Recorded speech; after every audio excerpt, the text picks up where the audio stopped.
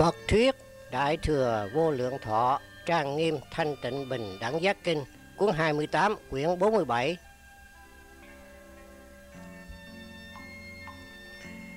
Tịnh không Pháp Sư chủ giảng.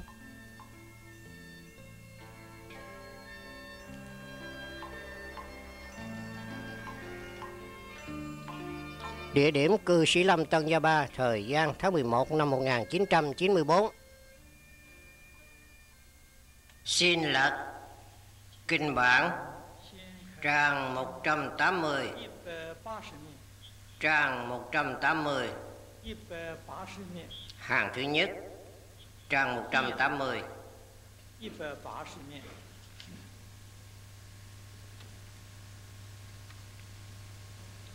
Thọ Bồ Đề Kế Đệ Tứ Thập Tứ. Xin xem Kinh văn. Nhược ư lai thế. Nải chí chánh pháp diệt thời. Đương hữu chúng sanh. Thực chư thiện bổn. Dí tầng cúng dường. Vô lượng chư Phật. Do bể như lai Gia uy lực cố, Năng đắc như thị, Quảng đại pháp môn. Đến chỗ này là một đoạn nhỏ. Chúng ta trước tiên xem thử. Trong này, Vì chúng ta giảng về Phật Pháp. Tại thế gian này có bốn thời kỳ. Vậy đây là sau khi Phật diệt độ. Pháp vận của Phật Tổng cộng có một vạn hai ngàn năm. Chánh Pháp một ngàn năm. Trong Kinh văn nói, Nhược ư lai thế. Ý nghĩa của câu này là Sau khi Phật diệt độ. Vậy thì chánh pháp một ngàn năm Nói là nại chí chánh pháp diệt thời. Đây tức là sau khi Phật diệt độ, Một ngàn năm sau. Vậy đây là thời kỳ tượng Pháp Cùng với thời kỳ mạt Pháp. Mạt Pháp là một vạn năm. Nói một cách khác, Chúng ta hiện nay, trong thời đại này, vừa đúng bao gồm trong thời kỳ này. Cũng tức là bảo, kinh này chính là vì chúng ta mà nói. Đương hữu chúng sanh đây là nói chúng sanh có duyên. Nhân duyên gì vậy? Cái nhân duyên này sâu. Thật là sâu rộng, vô hạn. Thực chư thiện bổn. Trong đây một câu khẩn yếu nhất tức là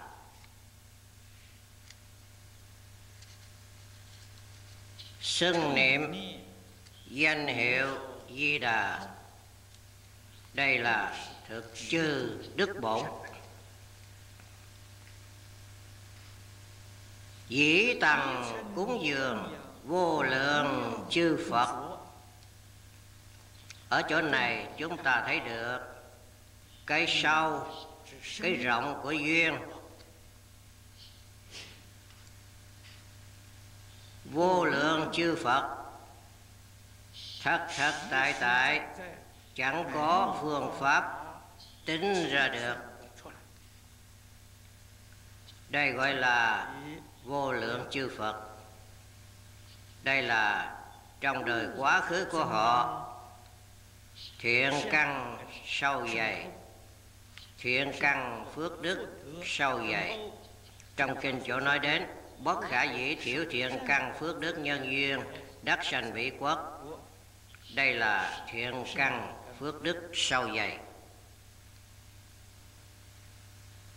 Do bỉ như lai gia oai lực cố, chữ bỉ này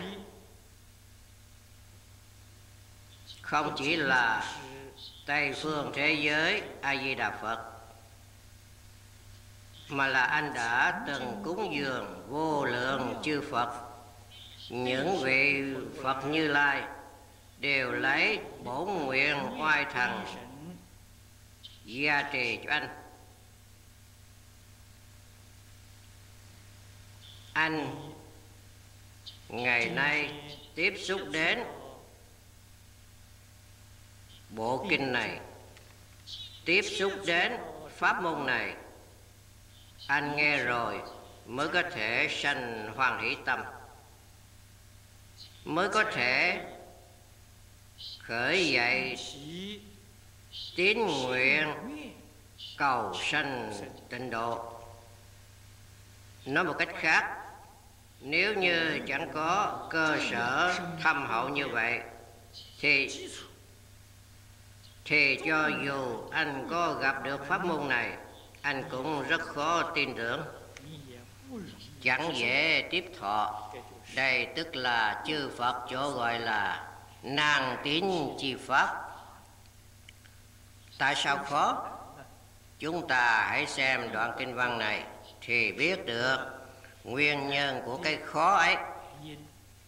Là trong đời quá khứ của họ, thiện căn phước đức không đủ phải nên bồi dưỡng thiện căn. Phước đức này cho thật sâu. Năng đắc như thể quảng đại pháp môn. Pháp môn này thế tôn thích ca mâu ni phật tự à, à, xưng tán. Pháp môn này là pháp môn rộng lớn nhất trong tất cả pháp môn. Rộng thế nào, lớn thế nào, hai phẩm phía trước chúng ta đều đọc qua rồi.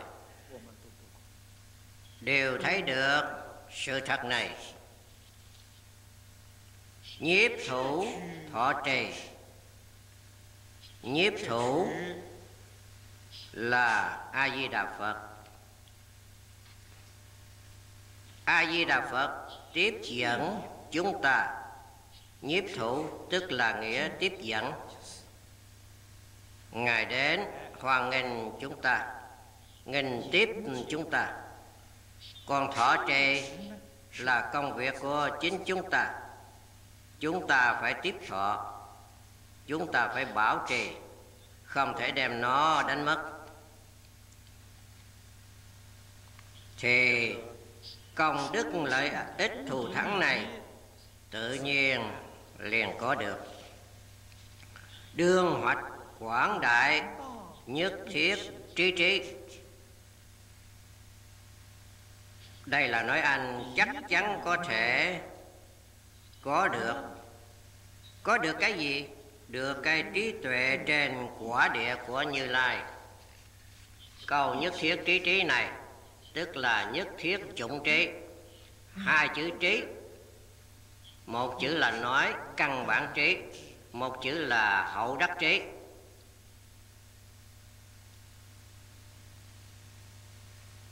Phía trên có chữ nhất thiết. Đây tức là hai thứ trí tuệ viên mãn trên quả địa của như lai. Ư bỉ pháp trung quảng đại thắng giải. Chữ bị pháp này là chỉ cho tịnh độ pháp môn. Tịnh độ pháp môn. Thích ca mâu ni phật trong đại kinh thường nói, duy phật, giữ phật, phương năng cứu cánh chỉ có những người thành phật rồi, họ mới thật sự triệt để hiểu rõ. Đẳng giác bồ tát nếu như chẳng được chư phật oai thần gia trì, cũng chẳng thể cứu cánh viên mãn. Có thể thấy rằng pháp môn này quả là rất sâu, rất rộng. Vậy chúng ta ngày nay tiếp xúc đến kinh điển này. Đọc tụng, nghe giảng, cơ hồ như chẳng khó. Chúng ta cũng có thể lý giải được mà. Đây là nguyên nhân gì vậy? Là do bể như lai gia oai lực cố. Anh mới hiểu rõ được. Cùng một đạo lý tôi đang ngồi giảng tại đây. Cũng là chư phật như lai oai thần gia trì. Nếu chẳng gia trì thì tôi cũng chẳng thể nói được. Quý vị cũng nghe chẳng hiểu. Bây giờ tôi có thể nói được một tí, quý vị cũng nghe hiểu được một tí. Cả thảy đều là hiệu quả của trong đời quá khứ cúng dường vô lượng chư Phật. A Di Đà Phật 48 nguyện gia trì. Cho nên chúng ta năng giải. Chẳng những năng giải mà còn thắng giải. Thắng là thù thắng. Cũng tức là nói, chúng ta lý giải, có trình độ thấu triệt tương đương. Chẳng phải là cái trí cạn cợt tầm thường. Hoạch đại hoan hỷ, quảng vệ tha thuyết, thường nhạo tu hành. Có được chân chánh pháp hỷ sung mãn, cái tâm hoan hỷ này cho nên mới ưa thích đến. Khắp nơi khuyến miễn kẻ khác đem pháp môn này giới thiệu cho người khác, tiến cử cho người khác. Đây tức là quán vị tha thuyết. Còn chính mình thì vô cùng ưa thích, y theo lý luận phương pháp của kinh điển này để tu hành.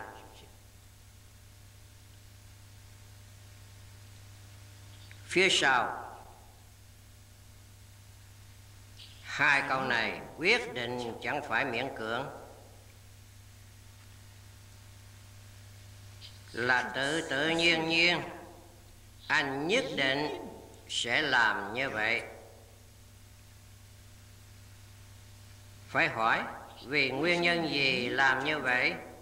Tức là phía trước, ư bỉ pháp trung, quảng đại thắng giải, hoạch đại hoan hỷ. Anh quả thật đã hiểu rõ rồi, thật sự thấu triệt rồi thật được lợi ích chân thật này, thì nhất định sẽ làm như vậy.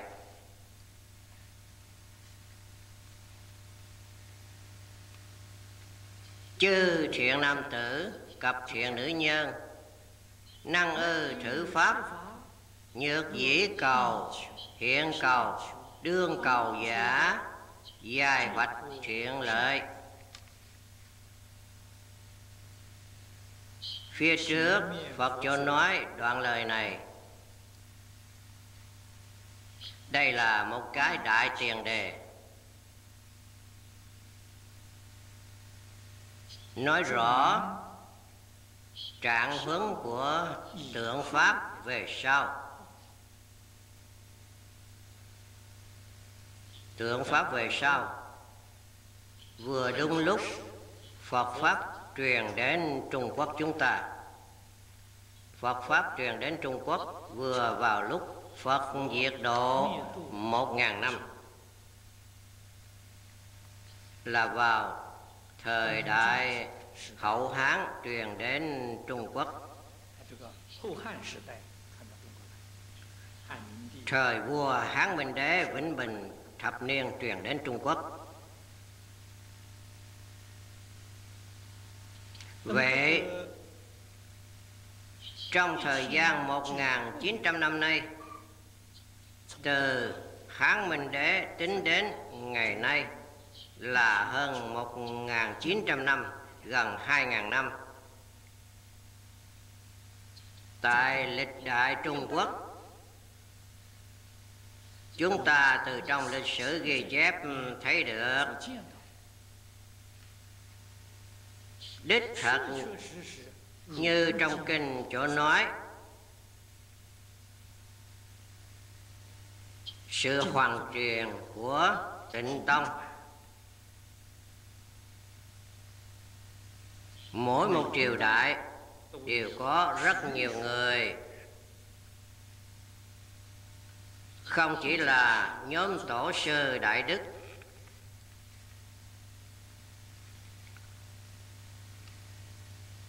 ngày nay, đọc đoạn kinh văn này, chúng ta mới hoảng nhiên đại ngộ. Thì ra những người này trong đời quá khứ, thiện căn, phước đức, nhân duyên đều là thù thắng không gì sánh bằng.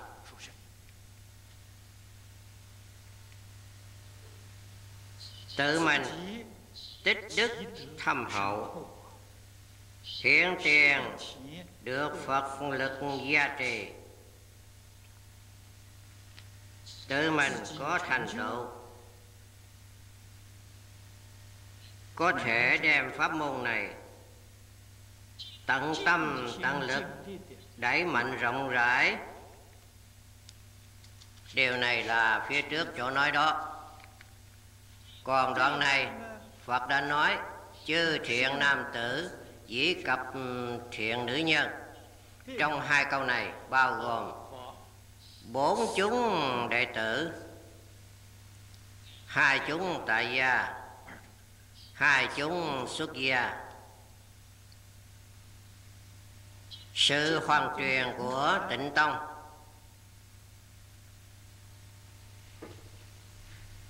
Người xuất gia, đích thật đã chiếm ưu thế rất lớn.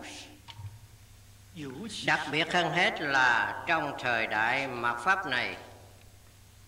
Anh xem, rất nhiều địa phương đều có xây cất liên xã.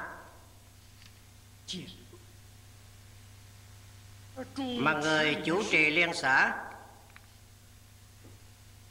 thì người tại gia nhiều hơn người xuất gia người chủ trì liên xã, như cư sĩ lâm của địa phương này, anh thử nghe cái danh xưng này thì liền biết là tại gia cư sĩ chủ trì. Vô cùng phù hợp. Bổn kinh cho nói, chúng ta nơi trong phần tựa kinh này thấy được. Thế tôn, vì chúng ta liệt kê ra những vị thượng thủ giữ hội. Tại gia cư sĩ thì có 16 vị xuất gia đại đức chỉ kê ra có 5 vị tại gia có 16 vị đây tức là pháp môn này, quả thật là lấy tại gia đồng tu làm chủ. Anh hỏi tại sao vậy? Vì tại gia đồng tu quá khứ đã từng cúng dường vô lượng chư phật. Là đạo lý như vậy. Người xuất gia quả thật là số ít, là đảm nhiệm công tác hoàng truyền. Đây tức là chư vị lịch đại tổ sư đại đức. Họ gánh vác trách nhiệm hoàng truyền. Vậy thì tứ chúng đệ tử, cầu thiện nam tử, thiện nữ nhân, tứ chúng đệ tử, năng ư trị pháp, chữ trị pháp tức là chuyên chỉ cho kinh vô lượng thọ. Chuyên chỉ cho tịnh tông pháp môn, nhược dĩ cầu, đã phát tâm cầu nguyện vãng sanh. Hoặc giả là hiện tại cầu. Hoặc giả là đương lai cầu. Đương lai là tương lai. Mạt pháp vẫn còn 9.000 năm. Mạt Pháp là một vạn năm. Đây là chiếu theo lối ghi chép trong lịch sử Trung Quốc. Mạt Pháp một ngàn năm thứ nhất đã qua rồi. Hiện tại là mở đầu của một ngàn năm thứ hai. Cho nên đây là Pháp đây là phát nguyện cầu sanh tịnh độ về sau. Chỉ cần chân chánh, phát tâm. Những người y theo lý luận, phương pháp của bộ kinh điển này để tu học thì là giai hoạch thiện lợi. Chứ giai là bình đẳng, đều có thể hoạch được sự lợi ích ừ, tối thiện thiện là thiện hảo. Dùng cái nói bây giờ là sự lợi ích tốt lành nhất. Cái gì gọi là thiện? Tiêu chuẩn của thiện ở đâu? Thật tại mà nói, tức là chỉ cho các thứ lợi ích thù thắng chỗ nói trong bộ kinh này.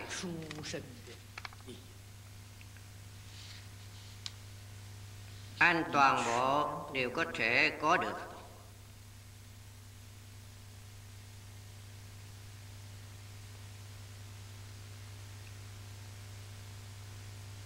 Không chỉ là tương lai quảng sanh bất thối thành phật, mà hiện tiền có thể được đại tự tại người thế gian chúng ta thường thường chúc phúc người nói, chúc anh sự sự như ý. Sự sự xứng tâm. Thật tại mà nói,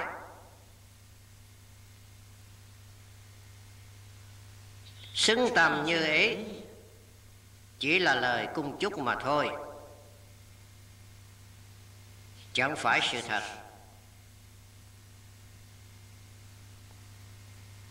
Duy chỉ có. Y theo pháp môn này tu học, anh mới có thể có được. Bằng vào gì mà có được? Bằng vào chư phật như lai, oai thần, gia trì.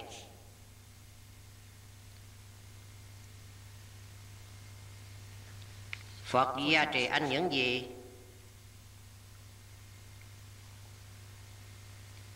Gia trì anh. Khai ngộ. Anh đọc kinh. Rõ lý rồi. Đây là phật lực gia trì. Sau khi hiểu rõ đạo lý rồi, anh biết được anh nên làm người cách nào, nên xử sự cách nào. Người xưa chúng ta chỗ nói, tự cầu đa phước. Đó là anh phải tự mình tu. Nếu anh tự mình chẳng chịu tu, thì phật chẳng có biện pháp gia trì cho anh.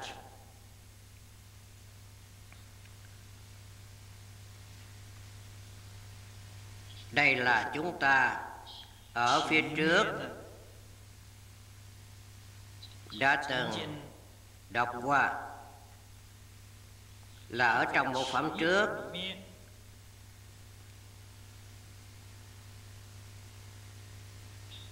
Đắc văn A Di Đà Phật danh hiệu năng sanh nhất niệm hỷ ái chi tâm.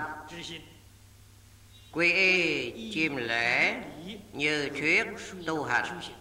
Anh chỉ cần đem câu nói này làm được rồi thì anh trong một đời này sự sự như ý. Đó là thật, chẳng phải giả. Đây là phật dạy cho chúng ta. Phật dạy tức là gia trì. Phật dạy tức là phù hộ. Bên trong chẳng có mê tín.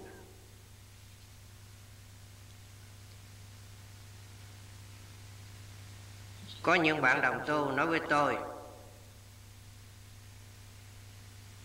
sự nghiệp của họ làm rất thành công, kiếm được khá nhiều tiền. Tự mình tưởng rằng rất có tài cán. Chẳng chẳng phải anh có tài cán gì chứ? Anh ngỡ rằng tiền bạc là anh do anh kiếm được đấy à? Anh nói không phải kiếm được thì là từ đâu mà đến, là tôi cực khổ lắm kiếm ra đó, sai rồi. Là cái nhân anh ở đời trước, cái quả của đời này được đấy. Nhân duyên, quả báo, tơ hào đều chẳng sai. Nào phải là anh kiếm được đâu? Phật ở trong kinh đem chân tướng sự thật này nói với chúng ta rất rõ ràng, rất minh bạch.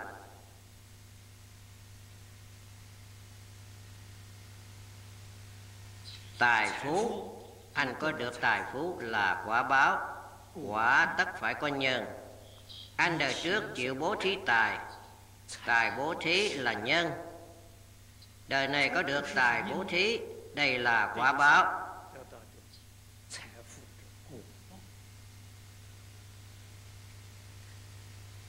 anh có thể hành pháp bố thí, thì anh được thông minh trí tuệ. Anh có thể tu vô úy bố thí, thì anh được khỏe mạnh sống lâu. Tài phú, thông minh, khỏe mạnh sống lâu là quả ba loại bố thí là nhân. Phật đem chân tướng sự thật này nói với chúng ta đây tức là phù hộ chúng ta. Đây tức là gia trì chúng ta. Chúng ta giác ngộ rồi, minh bạch rồi, thì ta sẽ chịu tu nhân. Ta thật sự chịu làm. Anh chịu làm thì anh mới có thể được quả báo.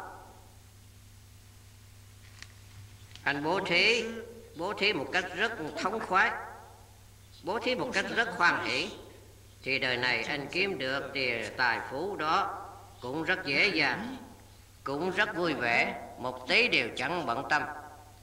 Anh kiếm tiền, khi tiền kiếm được rồi, kiếm rất cực khổ. Đó là nguyên nhân gì vậy? Là đời trước tu bố thí tài, bố thí một cách chẳng thống khoái, bố thí một cách chẳng hoan hỷ, bố thí như là cắt thịt mình vậy. Khó chịu quá. Thì đời này anh cực khổ lắm mới kiếm được nhân thế nào? Thì quả như thế đó. Nhân duyên quả báo, tơ hào chẳng sai. Bộ kinh này, tức là chư phật như lai a di đà phật, gia trì cho chúng ta.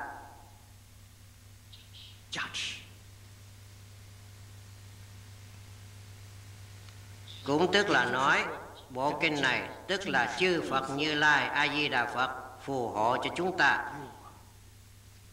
Họ dùng kinh điển này để phù hộ chúng ta. Chúng ta nên hết lòng để đọc, hết lòng để học tập. Thì anh sẽ được tất cả lợi ích, anh cả thể đều được cả. Nhữ đẳng ân đương, an trụ, vô nghi. Anh phải đem tâm an trụ tại trên kinh này. Kinh này tức là căn bản. Một đời tu học của chúng ta là kim chỉ nam của việc xử sự đối người tiếp vật của chúng ta. Khởi tâm động niệm, tất cả tạo tác đều chẳng trái ngược với lời giáo huấn của kinh điển. Phía trước đã nói thì người này tức là như lai đệ nhất đệ tử. Cho nên anh an trụ trên kinh giáo này. Quyết định chẳng hoài nghi. Chúng chư thiện bổn. Chúng chư thiện bổn không chỉ là tín nguyện trì danh, nhất định phải đem lời dạy bảo trong kinh nói đó làm được, đặc biệt là ngũ giới thập thiện. Phẩm 35 phía trước, chỗ nói đó. Ân thường tu tập. Xử vô nghi trệ. Ân đương, tức là thường thường. Tức là quyết định, không thể gián đoạn. Tu là tu hành chúng ta trước kia có nhiều cách nghĩ đối với chính mình, đối với hoàn cảnh sinh hoạt đối người, đối xử. Những cách nghĩ sai lầm, cách nhìn sai lầm, cách làm sai lầm, cả thể đều đem nó tu chính trở lại. Đây gọi là tu hành tập là học tập đi theo đạo lý, phương pháp trong kinh điển chỗ nói, để tu học, để tu tập, để học tập. Làm con người mới. Trong kinh nói với chúng ta tẩy tâm dịch hành. Câu nói này tức là chúng ta làm con người mới trở lại. Trước kia làm đó, đều là tạo nghiệp lục đạo luân hồi đều là ở đó tạo tam ác đạo nghiệp, vô cùng đáng sợ. Ngày nay, chúng ta thay đổi mặt mày. Chúng ta phải học phật, chúng ta phải học bồ tát. Chúng ta phải là một con người thiện chân chánh. Trong một đời này, quyết định thoát ly lục đạo luân hồi, vãng sanh bất thối thành phật. Đây tức là tu tập. Xử vô nghi trệ. Chúng ta hết lòng đi làm như vậy. Bất luận đối với lý, đối với sự, chúng ta chẳng có hoài nghi. Chẳng có chướng ngại. Trệ tức là chướng ngại. Trở ngại, chẳng có nữa. Bất nhập nhất thiết chủng loại trân bảo thành tựu lao lao ngục đương nhiên chúng ta nhìn thấy rất khủng bố, rất khiếp sợ. Có ai chịu đi vào trong lao ngục lao ngục gì đây? Tam giới lục đạo, tức là lao ngục trong lao ngục có khổ, cũng có vui. Cái khổ là gì? Tam ác đạo là cái lao ngục thọ khổ còn tam thiện đạo, đặc biệt là thiện thiên đạo a tu la đạo đó là chân bảo lao ngục. Anh có chịu đi không? Thế gian có nhiều người muốn sanh thiên. Sự khoái lạc trên trời, thọ mạng rất dài. Đây là tất cả thọ dụng đều tự nhiên chẳng cần phải khổ nhập lắm để kinh doanh. Thiên phước thì rất dụ hoặc con người. Chúng ta hiểu rõ, trời chẳng phải cứu cánh. Thọ mạng dài như là trường thọ thiên. Phi tưởng, phi phi tưởng xứ thiên. Thọ mạng tám vạn đại kiếp. Đây là thọ mạng dài nhất trong phàm phu. Tám vạn đại kiếp. Tám vạn đại kiếp. Nếu cùng vô lượng kiếp đi so sánh, thì không dài, cũng rất ngắn tạm. Sau khi tám vạn đại kiếp đến rồi, thì vẫn phải luân hồi, vẫn phải đọa lạc tại vì sao? Vì họ đã leo lên đến trên đỉnh, chẳng lên thêm được nữa. Khi thọ mạng đến, chỉ có độ đọa lạc trở xuống. Trong kinh lăng nghiêm giảng rất rõ ràng. Tứ thiền thiên, tứ không thiên, sau khi thọ mạng hết rồi, phần nhiều đều đọa vào tam ác đạo. Rất khổ rất khổ nếu anh hỏi nguyên nhân gì vậy tôi cũng chẳng phải nói nhiều. Quý vị đi à, niệm kinh lăng nghiêm thì biết ngay.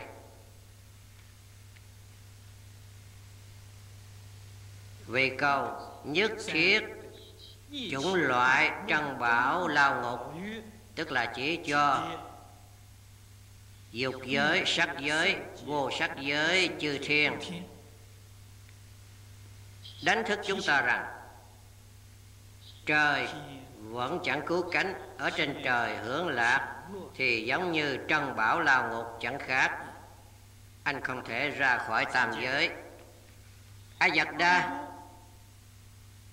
như thị đẳng loại đại oai đức giả, năng sanh phật pháp, quảng đại dị môn. Do ư thử pháp, bất thính văn cố hữu nhất ức bồ tát thối chuyển a nậu đa la tam miệu tam bồ đề. Đoạn này là nói, chẳng nghe pháp môn này. Chẳng thể tin pháp môn này. Chẳng thể tiếp thọ pháp môn này. Rất khó chẳng thối chuyển chẳng thối, chẳng phải dễ. Phật gọi a Giật đa a Giật đa tức là di lạc bồ tát gọi tên của ngài, đánh thức ngài chú ý. Những lời nói phía dưới thì là rất quan trọng. Như thì đẳng loại đại oai đức giả câu này là chỉ cho đối với tịnh tông, đối với pháp môn này, chẳng hoài nghi. Tín tâm thanh tịnh, tín tâm kiên định là chỉ cho loại người này. Nếu như chúng ta đối với pháp môn này rất rõ ràng, rất minh bạch, đích thật chẳng thể bị bất cứ cảnh giới nào lay động. Thì anh tức là nơi đây chỗ gọi là đại oai đức giả anh có đại oai đức. Người như thế năng sanh phật pháp quảng đại dị môn. Ý nghĩa của câu nói này tức là họ có tư cách, họ có khả năng nhập vào tịnh độ pháp môn. Họ có khả năng. Phật Pháp quảng đại này gọi là dị môn. Dị là đặc biệt. Pháp môn này chẳng phải pháp môn thông thường. Pháp môn thông thường tức là thường gọi là tám vạn bốn ngàn pháp môn. Vô lượng pháp môn. Trong tứ hoàng thể nguyện gọi là pháp môn vô lượng thể nguyện học Là pháp, pháp môn thông thường. Còn pháp môn này Cổ đức thường gọi là môn dư đại đạo. Tức là ngoài chỗ có tất cả pháp môn. Đây là một đại đạo để, để thành Phật. Đường tắt để thành Phật gọi là dị môn. Cùng với Phật môn cùng với pháp môn thông thường khác nhau. Cho nên tất phải là người đại oai đức họ mới có thể sanh được mới sanh được. Do ư thử pháp bất thính văn cố, nói được rất rõ ràng, rất minh bạch. Bởi vì một số bồ tát, hành bồ tát đạo, chẳng có nghe đến pháp môn này, hoặc giả là nghe rồi mà họ chẳng thể tin họ chẳng thể tiếp thọ, chẳng chịu cầu sanh tịnh độ. Cái này là nghe thì như chẳng nghe, gặp được như là chẳng gặp được. Chẳng thể sanh đến cực lạc thế giới thì khó tránh khỏi phải thối chuyện quả nhiên không sai. Họ đã thối chuyển. nếu họ không thối chuyển, thật tình mà nói, thành Phật. Đâu cần phải ba đại A Tăng kỳ kiếp. Cần thời gian dài như vậy, tức là tiến tiến, thối thối. Thối thì nhiều, tiến thì ít. Cho nên tu hành khó khăn thế đó.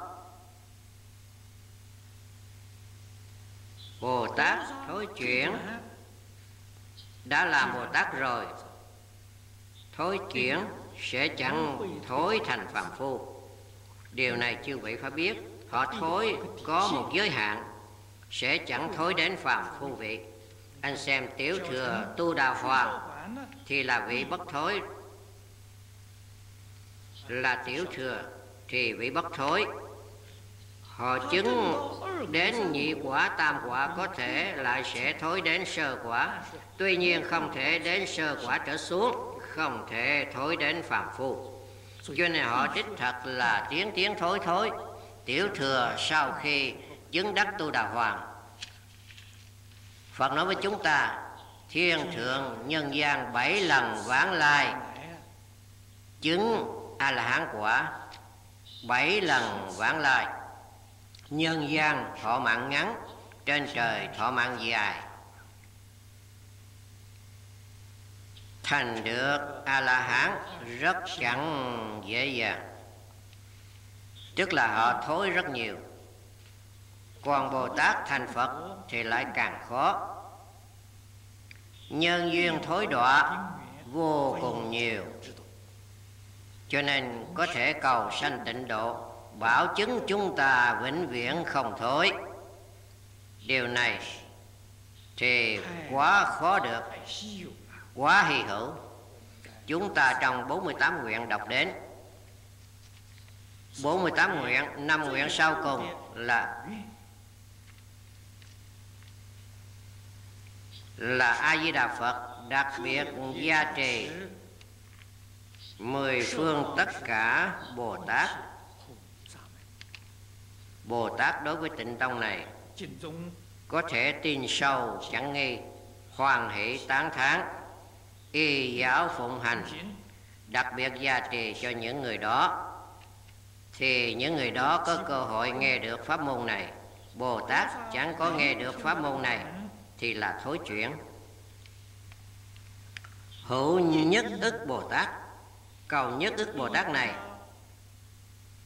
chẳng phải chỉ mười phương thế giới, là chỉ cho ta bà thế giới chúng ta.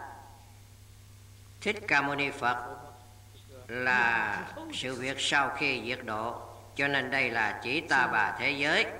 Có một ức bồ tát thối chuyển, a nậu đa la tam miệu tam bồ đề.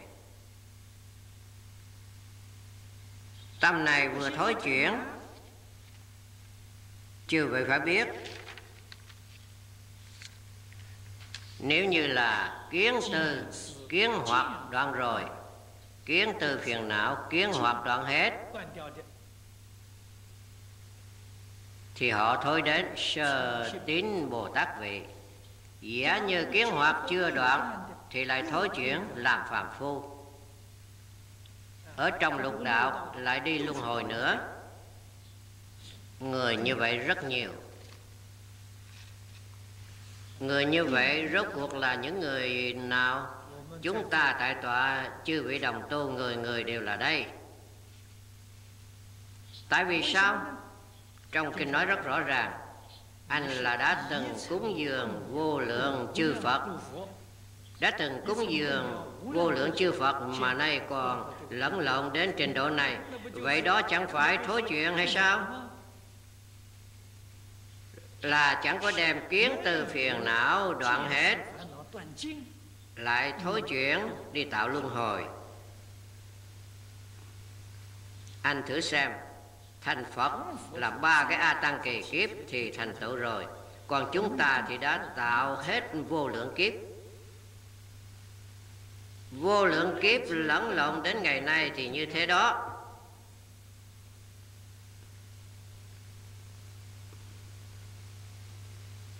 Nếu anh hỏi nguyên nhân gì vậy vì là ư thử pháp môn bất thính văn cố chúng ta ngày nay có thính văn không bộ kinh này ngày mai sẽ có thể giảng viên mãn Trong 29 ngày này, quý vị ngày ngày đều đến nghe một buổi cũng chẳng vắng mặt. Nhưng đã thính văn chưa? Không hẳn vậy.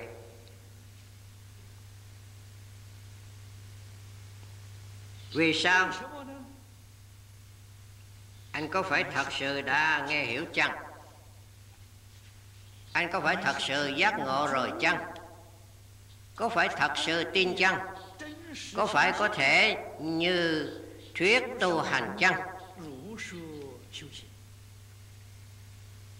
Trong 29 ngày này, quả nhiên làm được thật sự quy y chiêm lễ như thuyết tu hành. Thì xin chúc mừng anh. Anh là thính văn rồi. Anh nghe được rồi. Anh trong một đời này quảng sanh bất thối thành phật. Nếu như anh đối với thế gian vẫn muốn tham luyến, vẫn xả chẳng được rời khỏi thế gian này, thì anh là ư thử pháp bất thính văn cố vẫn phải tiếp tục tạo lục độ đạo luân hồi một đời này không thể vãng sanh. Điều này là gì? Là thính nhi bất văn.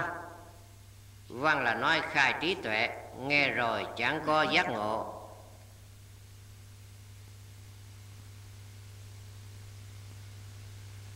Nói hơi dễ nghe một tí, thì giống như phía trước chỗ nói a xà thế vương tử cùng 500 trưởng giả nghe phật giảng kinh vô lượng thọ. Họ nghe xong rất hoan hỷ. Ta tương lai thành phật cũng giống như a di đà phật vậy. Có phải cần phát nguyện vãng sanh không? Vẫn chẳng chịu phát nguyện vãng sanh. Người như thế đó, trong đời quá khứ, đã từng cúng dường 400 ức Phật. Còn người ở chỗ này là đã từng cúng dường vô lượng chư Phật so với 400 ức thì hơn quá nhiều.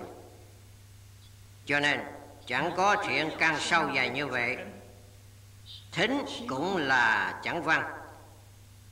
Anh mới biết được, tất cả chư Phật nói Pháp môn này gọi là nan tiến chi Pháp Lời này nói có đạo lý, Đích thật chẳng dễ dàng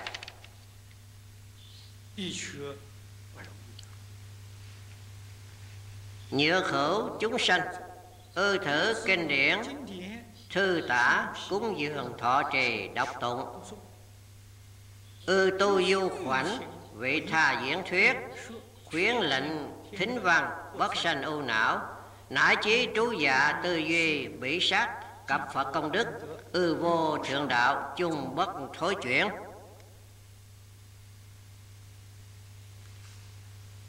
Đoạn này là nói tín thọ phụng hành, tu hành bất thối. Đây là trong một đời này thiện căn phước đức nhân duyên thành thục. Chúng ta thử nghĩ, chúng ta có phải là loại người này hay không? Ư thử kinh điển. Đều chỉ cho kinh điển này.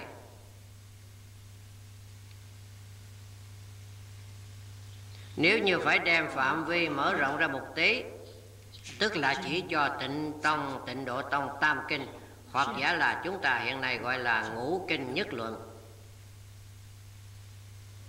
Đều là chuyên môn nói về tịnh độ. Chuyên môn khuyên người vãng sanh. Thư tả, tức là lưu thông. Thời xưa, kỹ thuật ấn loát trước ừ, khi chưa phát minh, kinh bản đều phải nhờ viết chép bằng tay. Còn bây giờ, không cần viết nữa. Hiện nay chúng ta in kinh. In kinh lưu thông. Vậy kinh điển ở thế gian này, càng nhiều, thì càng nhiều người có cơ hội tiếp xúc. Càng có nhiều người có cơ hội được độ. Xưa kia, đại từ bồ tát nói, anh độ được một người vãng sanh. Độ được hai người thật sự vãng sanh thì sánh với công đức chính mình anh tu hành đó, lớn hơn rất nhiều. Anh độ được mười mấy người. Vậy anh tức là bồ tát rồi. Mười mấy người này Thấy đều vãng sanh. Độ được mười mấy người vãng sanh, vậy thì anh quả thật là bồ tát. Chúng ta in một vạn quyển kinh lưu thông hy vọng có được mười người được độ đến tây phương thành phật. Vậy thì là phi thường rồi. Chớ tưởng rằng tôi có một vạn quyển sách này thì có một vạn người đi thành phật. Đó là việc không thể được. Đó không thể được. Một vạn quyển sách được lưu thông, có được mười người, có được lợi ích chân thật. Vậy thì công đức của anh bất khả tư nghị. Cho nên kinh sách nhất định phải được lưu thông cho thật nhiều cúng dường là nghĩa phụng hiến. Trong việc cúng dường, phía trước đã nói với quý vị rất nhiều. Thật tại mà nói, sự cúng dường thù thắng nhất có hai loại. Một loại là như thuyết tu hành cúng dường. Phật trong kinh điển chỗ nơi đó, chúng ta thấy đều đem nó làm được. Đây là chân chánh cúng dường. Đây là tự lợi cái thứ hai, tức là lấy Phật pháp cúng dường cho bạn bè thân thiết của anh. Cúng dường cho tất cả đại chúng. Đem cái tâm chân thành cung kính tặng cho họ. Hiện nay không những in kinh, bằng cassette, bằng video, những loại lưu thông này đều là sự cúng dường tối thù thắng. Chúng ta trong sinh hoạt ngày thường. Hôn lễ, tang lễ và các tiết mục ăn mừng cùng bạn bè thân thích qua lại đều có thể tặng một ít lễ vật nhỏ. Lễ vật gì tốt nhất là kinh vô lượng thọ. Không có gì tốt hơn cái này.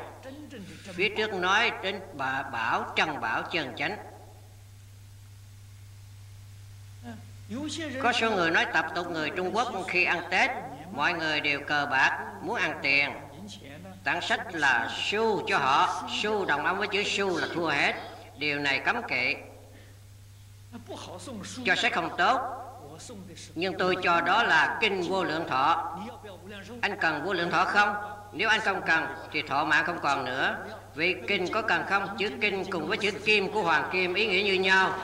Tôi tặng đó là kinh vô lượng thọ.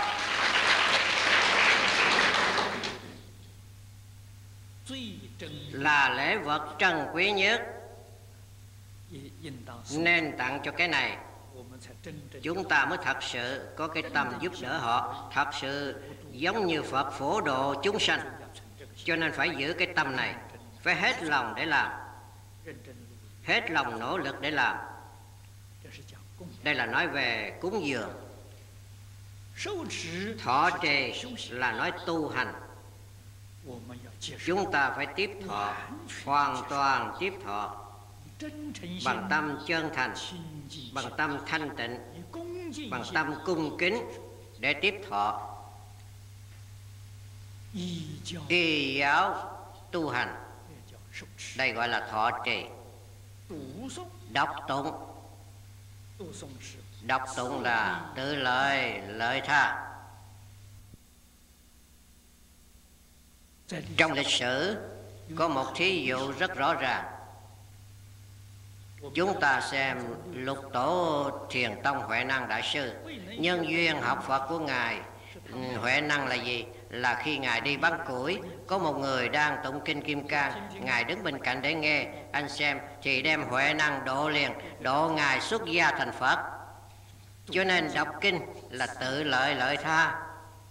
Phải đọc cho ra tiếng. Tự mình nghe được rất rõ ràng, khiến kẻ khác cũng nghe được rất rõ ràng. Gọi là đọc kinh. Cách đọc này phải nghiên cứu đến âm điệu trầm bổng du dương. Khiến kẻ khác nghe ra sao? Không những rõ ràng họ còn có thể sanh hoan hỷ tâm.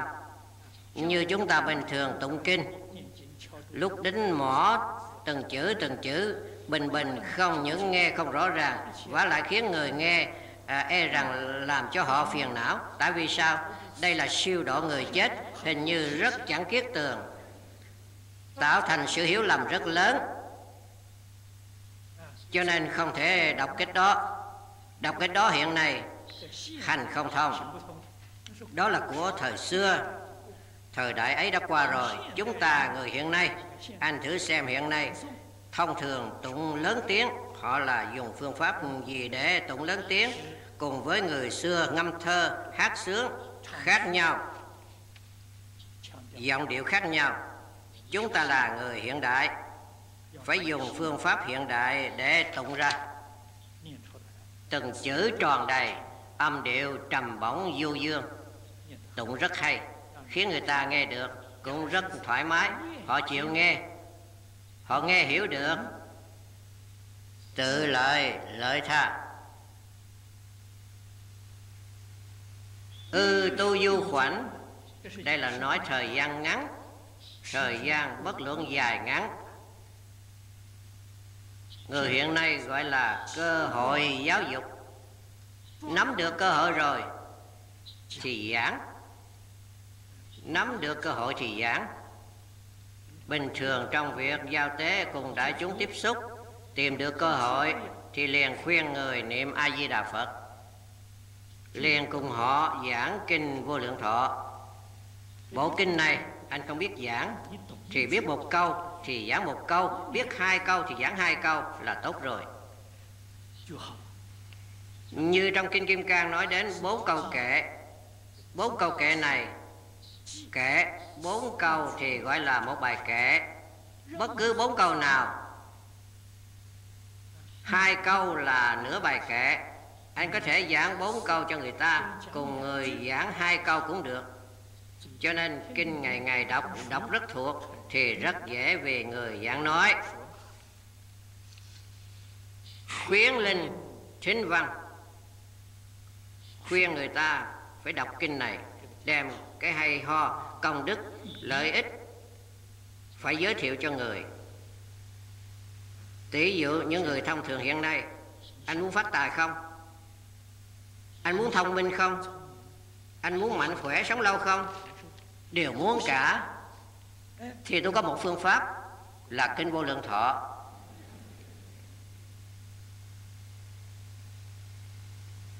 Nếu anh không tin anh xem tôi hiện nay phát tài. Tôi rất thông minh tôi mạnh khỏe sống lâu là nhờ tôi niệm kinh vô lượng thọ. Niệm được đó. Chính mình phải làm một, một chứng minh cho người ta xem. Thì họ tin. Khuyên họ đọc, khuyên họ nghe. Hiện nay bằng cassette. Vô cùng tiện lợi. Pháp sư giảng kinh thì chẳng dễ, nhưng bằng cách lưu thông thì vô cùng sâu rộng. Khuyên họ nghe, khuyên họ đọc, khuyên họ học tập. Bất sanh u não. U là tâm, não là thân là phiền não đấy. Ưu lự phiền não. Đều xa lìa. Bất sanh ưu não, thì người vui vẻ, hạnh phúc. Đây chính là tất cả chúng sanh, chỗ tìm cầu. Mà tìm cầu chẳng được. Trong kinh này, có lý luận, có phương pháp nãi chí trú dạ tư duy bỉ sát. Đây là niệm phật, trú dạ không ngừng. Đây là quán tưởng niệm phật. Trong câu này, hàm nhiếp quán tượng xưng danh. Chúng ta niệm câu a di đà phật này, những người niệm kinh rất thuộc, đề khởi phật hiệu thì sẽ nghĩ tưởng đến phật đà phát tâm, cầu học, tu đạo cùng với thành phật, độ sanh, các thứ công đức trang nghiêm nói chẳng hết được. Đề khởi phật hiệu thì anh sẽ nghĩ tưởng đến gặp phật công đức ư vô thượng đạo. Vô thượng đạo là vãng sanh bất thối thành phật. Chung bất thối chuyển. Quyết định chẳng thể thối chuyển. Cùng với phía trước bồ tát bất văn sử kinh mà thối chuyển. vừa đúng thành một tỷ lệ đối chiếu mãnh liệt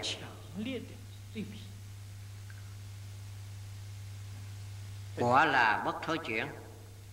Bí nhân lâm chung. Giả sử tam thiên đại thiên thế giới mãn trung đại hỏa diệt năng siêu quá sanh bị quốc độ. Câu nói này đối với người hiện đại chúng ta mà nói thì là vô cùng khế cơ. Thời buổi hiện đại này khoa học kỹ thuật tuy rất phát đạt, nhưng mang đến cho chúng ta tai nạn âu lo họa hại thật là vô cùng.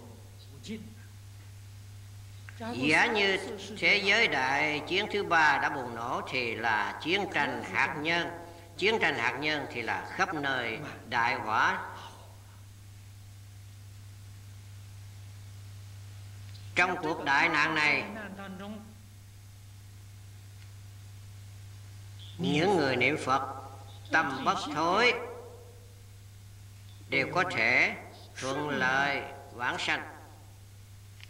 Đều có thể được phật tiếp dẫn. Cho nên tai nạn này không hại được họ.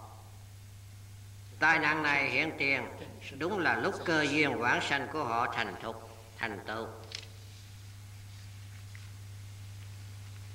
Thiện nhân dĩ tầng trực quá khứ phật. Thọ bồ đề ký. Nhất thiết như lai. Đồng sở xưng tán. Người này, tức là một loại người mà phật chỗ nói đó, hy vọng các đồng tu tại tọa chúng ta đều là thuộc về loại này.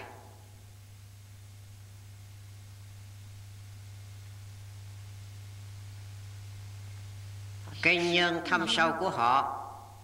Bất khả tư nghị. Vì sao? Vì trong đời quá khứ đã từng gặp được vô lượng, vô biên chư phật. Chứ trực tức là gặp được. Gặp được phật thì làm gì có đạo lý chẳng cúng dường chứ? Tăng trực là từng gặp từng cúng dường quá khứ vô lượng vô biên chư phật. Thọ bồ đề ký. Chư phật như lai đã từng thọ ký cho họ. Nhất thiết như lai đồng sở xưng tán. Chư phật như lai xưng tán họ cũng là, cũng tức là chư phật hộ niệm.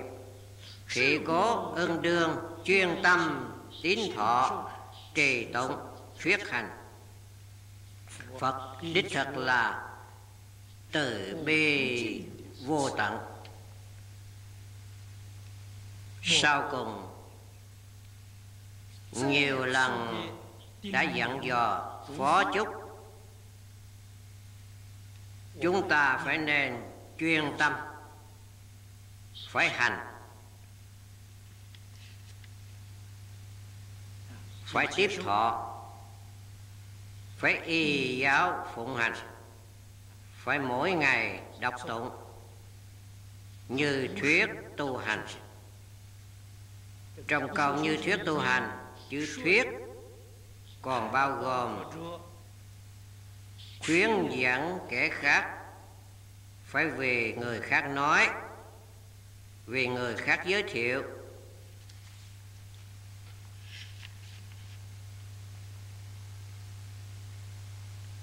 Lại xem tiếp. Phẩm phía dưới.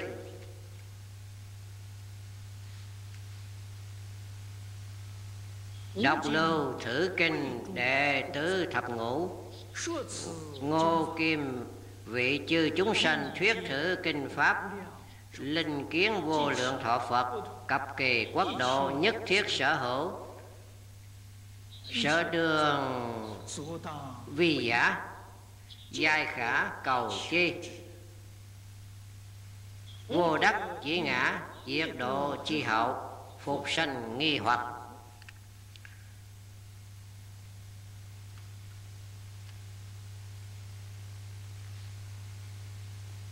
Đoạn này.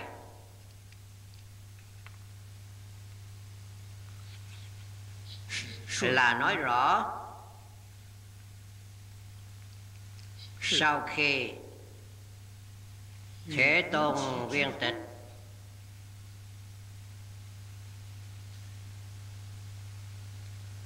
cạn huấn của chúng đệ tử tu học. Chữ ngô là thế tôn tự xưng. Thích ca mâu ni phật tự xưng. Ngày nay vì mọi người vì chư chúng sanh đây là bao gồm luôn chúng sanh lúc bây giờ cùng với hậu thế. Như chúng ta cũng bao gồm trong đó. Có cơ hội đọc đến bộ kinh này, nghe đến bộ kinh này, đều bao gồm trong một câu này.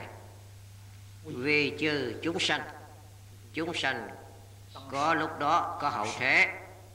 Khuyết thử kinh pháp, nói kinh vô lượng thọ này pháp phong, niệm phật vãng sanh tịnh độ. Linh kiến, vô lượng thọ phật. Mục đích nói bộ kinh này, tức là hy vọng mọi người phát tâm đi gặp a di đà phật. Vô lượng thọ phật, tức là a di đà phật. Vãng sanh cực lạc thế giới, cập kỳ quốc độ cực lạc thế giới nhất thiết sở hữu, tức là y chánh trang nghiêm của cực lạc thế giới. Phía trước đều đã từng nói qua rồi.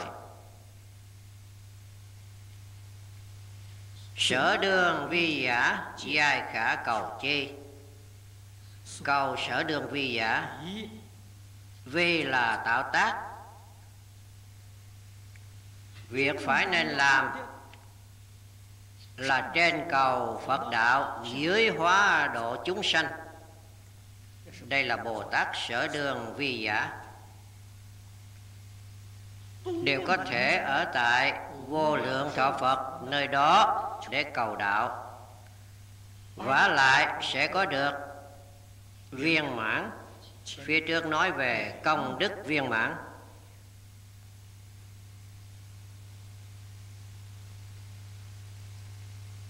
Phật giống như cách khai thị này, trong kinh này, thật sự đã nói rất nhiều rất nhiều. Không chỉ là một lần, hai lần. Chúng ta từ chỗ này thấy được sự thương yêu bảo hộ của thế tôn đối với chúng ta, sự quan tâm đối với chúng ta. Quả thật là đại từ, đại bi.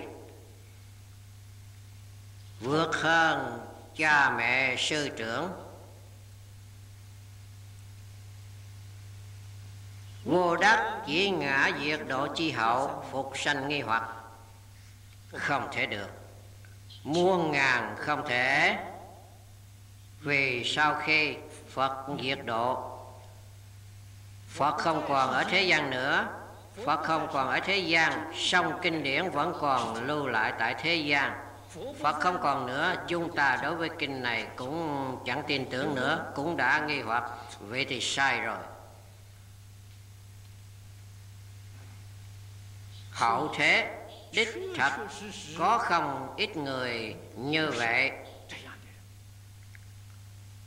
Lúc Phật còn tại thế thì tin không thể không tin. Sau khi Phật diệt độ thì không tin. Thì hoài nghi. Phiền não, nghiệp chướng, hiện hành. Đường lai chi thế, kinh đạo diệt tận. Ngã dĩ từ bi ai mẫn, đặt lưu thử kinh, chỉ trụ bá tuế.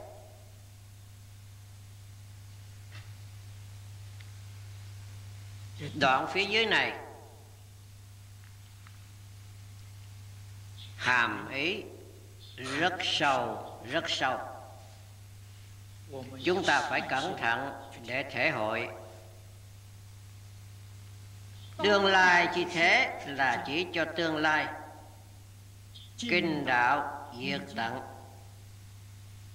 Kinh là kinh điển đạo tức là lý luận và phương pháp của sự tu hành. Ở tệ, tại thế gian này, dần dần dần dần tiêu mất.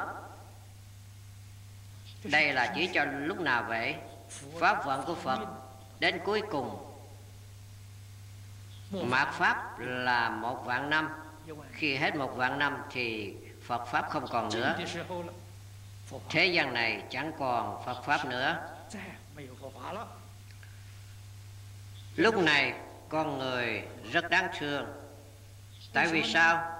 Vì cơ hội xuất ly lục đạo không còn nữa. Đối với chân tướng của vũ trụ nhân sinh, không có cách gì hiểu rõ.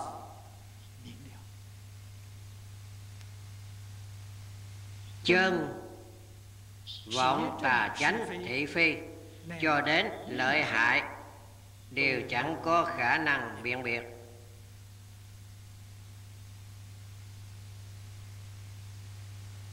Tạo nghiệp, thọ báo, vô cùng khổ sở.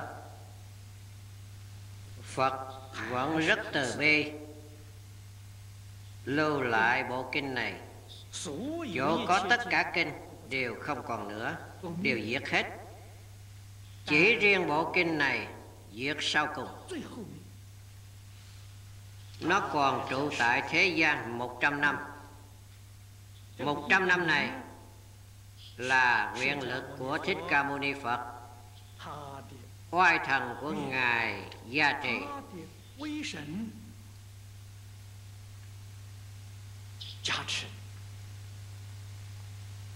cho nên pháp vận này của Phật biến thành một vạn hai ngàn lẻ một trăm năm. Một trăm năm cuối cùng là nguyện lực gia trì của Thích Ca Mâu Ni Phật.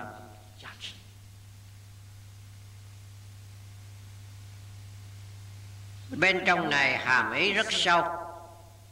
Sâu. Sâu ở chỗ nào? Đây là nói với chúng ta phật pháp vì sao có thể diệt.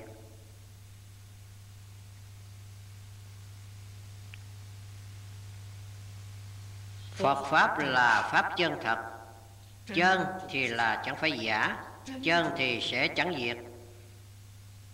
Tất nhiên là thường trụ tại nhân gian. Phật pháp hưng diệt đều là duyên. Chúng sanh có duyên. duyên. Gì vậy? Là tin được nguyện được hành được. thì phật liền xuất hiện tại thế gian chúng sanh chẳng tin chẳng nguyện chẳng chịu tu hành. Thì Phật liền diệt độ kinh cũng chẳng còn nữa. Do đây có thể biết pháp vận của Phật chẳng phải ở nơi Phật bên kia mà nói mà là ở chúng sanh bên này mà nói. Chúng sanh, giống như phía trước cho nói, sau khi Phật diệt độ, chúng sanh tạo tác ngũ ác, ngũ thống, ngũ thiêu, lâu rồi trở nên kịch liệt. Vấn đề này ngày càng nghiêm trọng.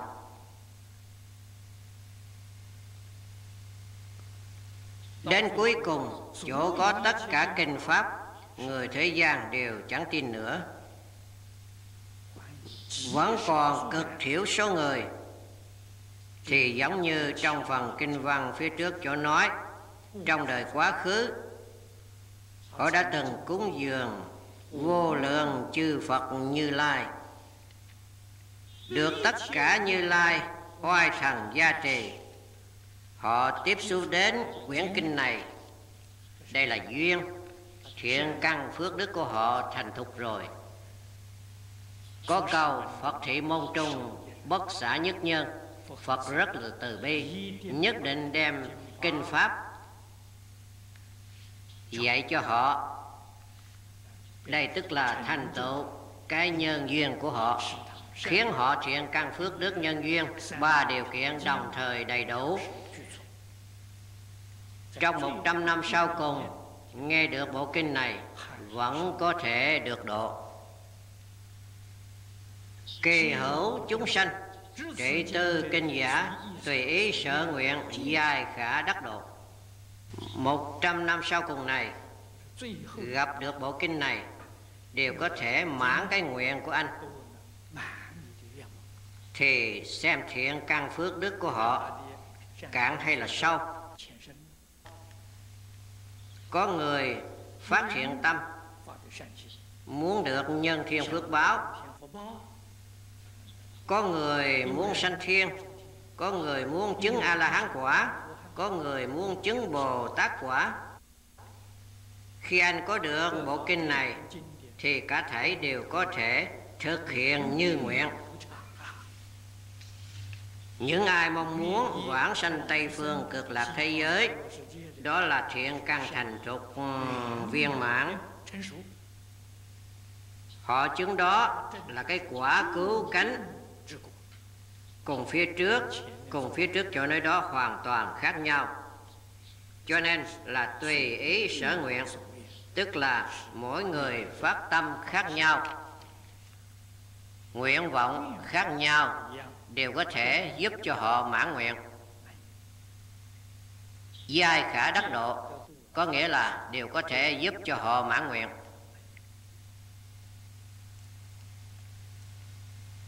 Vậy do đây có thể biết, trong tất cả các kinh, độ chúng sanh, hiệu quả, oai lực lớn nhất, đều không qua kinh này chúng ta đọc đoạn này, anh phải thể hội ý nghĩa này. Mới thật sự hiểu rõ bộ kinh này, trong tất cả các kinh, nó là đệ nhất vậy.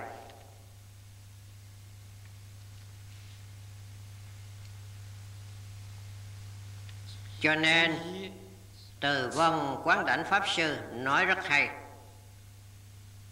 Tất cả chúng sanh tạo tác cực trọng nghiệp chướng, ác nghiệp bất cứ kinh gì. Bất cứ tu hành phương pháp gì, đều chẳng có biện pháp diệt được tội của họ. Đều chẳng có biện pháp tiêu tai cho họ.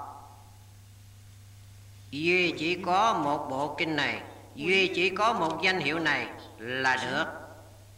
Nó có sức mạnh tiêu trừ tai chướng của họ, tiêu trừ tội nghiệp của họ hiển thị ra, bộ kinh này, pháp môn này là trong đệ nhất của đệ nhất. Người niệm phật có đại phước báo. Người niệm phật tiêu tai, diệt tội, so với tu bất cứ phương pháp nào đều nhanh hơn. Đặc biệt hơn hết là chuyên tâm niệm phật chúng ta trong những năm gần đây,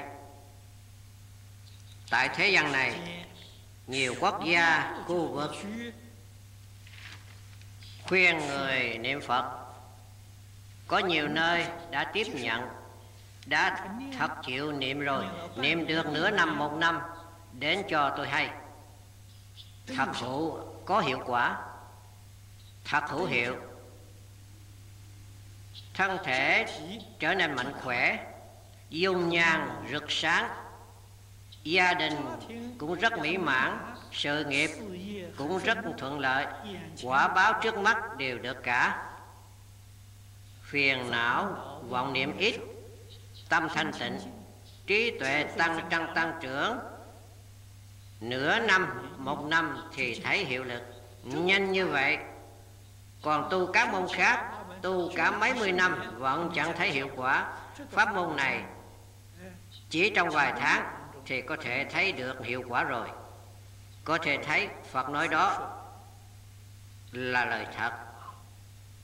Tổ sư đại đức chỗ thấy được đó cũng chẳng phải giả. Chỉ cần anh tin được, chỉ cần anh thật sự chịu làm thì anh có thể được công đức, lợi ích, thù thắng này. Đích phật cả thảy đều được độ. Vậy chúng ta hiện nay, cách thời kỳ pháp diệt tận vẫn còn đến 9.000 năm. Thời gian này hãy còn quá dài. Vậy giờ đây có thể biết, chúng ta ngày nay gặp được kinh điển này, gặp được pháp môn này đây là phước báo lớn biết chừng nào. So với những người ở phía sau thì phước báo của chúng ta thù thắng quá nhiều quá nhiều. Chẳng những chúng ta, so với người sau có phước hơn. Thật tình mà nói, chúng ta so với tiền nhân cũng có phước hơn. Đương nhiên, tiền nhân, nhóm người đã vãng sanh là ngoại lệ, phước báo của họ lớn hơn chúng ta vậy so với những người nào có phước hơn? Là những người nghe đến pháp môn tịnh độ này mà chẳng muốn vãng sanh, chúng ta so với họ phước ừ, báo lớn hơn. Tại vì sao? Bởi vì họ chẳng có nghe đến bộ kinh này. Chưa thấy được kinh bản này. Trước kia những bản đã được phiên dịch nghĩa kinh đều không viên mãn. Bởi vì kinh này là thích ca mâu ni phật năm xưa khi còn tại thế đã nhiều lần tuyên giảng, chẳng phải chỉ một lần, đã giảng rất nhiều lần. Truyền vào trung quốc thì có rất nhiều nguyên bản khác nhau. Nguyên bản tiếng phạn không có không chỉ có một bản vì tại Trung Quốc phiên dịch, tổng cộng đã phiên dịch 12 lần. 12 thứ dịch bản trong đó chinh lịch rất lớn. Điều này chứng minh Phật là nhiều lần tuyên thuyết. Cho nên nếu anh xem một bản thì anh chẳng có biện pháp liễu giải ý nghĩa viên mãn được. Anh phải đem những bản dịch này toàn bộ đều xem đến vào thời xưa, quả thật không thể làm được. Tống triều, cư sĩ vương long thư, người này đích thật có tiền bạc, lại có địa vị, lại có thông minh trí tuệ. Cái nhân đời trước của ông tu rất tốt. Ông là một bản hội tập, bản phiên dịch của triều nhà đường ông chưa thấy qua.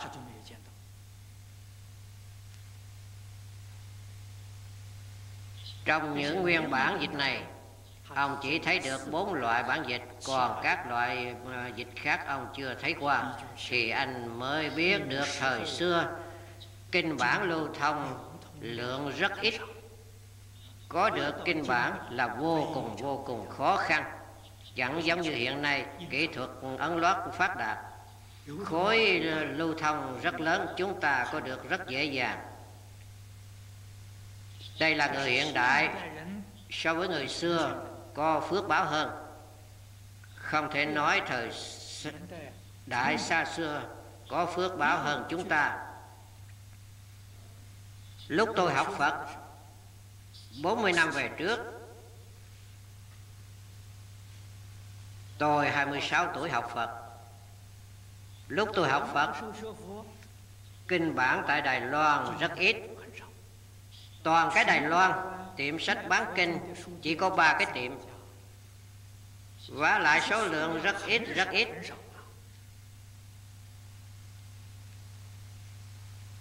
Chúng tôi muốn xem kinh sách, phải làm sao?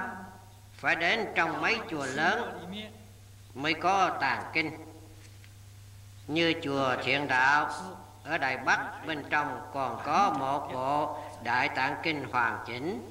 Chúng tôi đến đó để mượn mà chép. Hiện nay đâu có người chép kinh.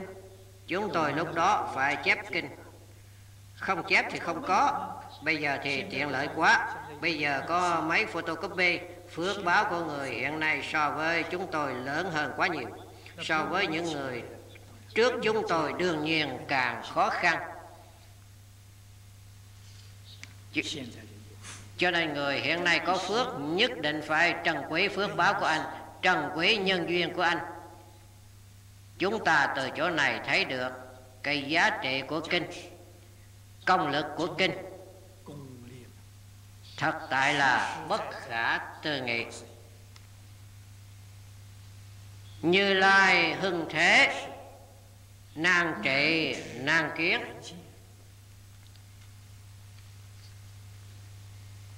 phía dưới một đoạn này. Là phật. Hiển thị sự cảm thán vô tận phật xuất hiện tại thế gian. Thật quá hiếm hoi.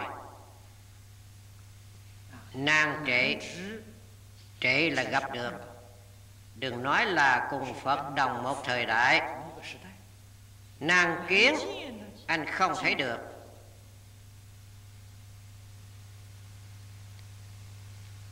Trong câu này,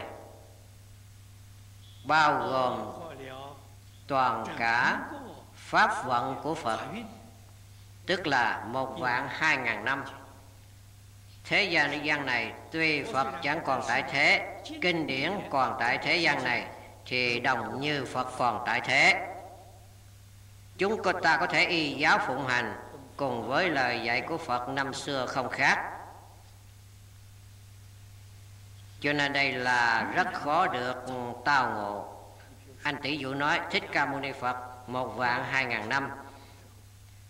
Sau khi qua rồi thế gian này không có phật pháp phật pháp diệt rồi.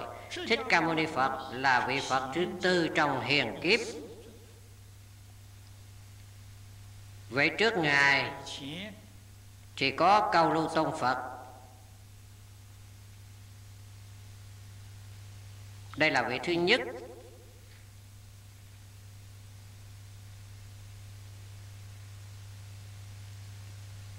Sau khi ngài diệt độ vị thứ năm là di lạc phật phật di lạc lúc nào mới đến thế gian này để thành phật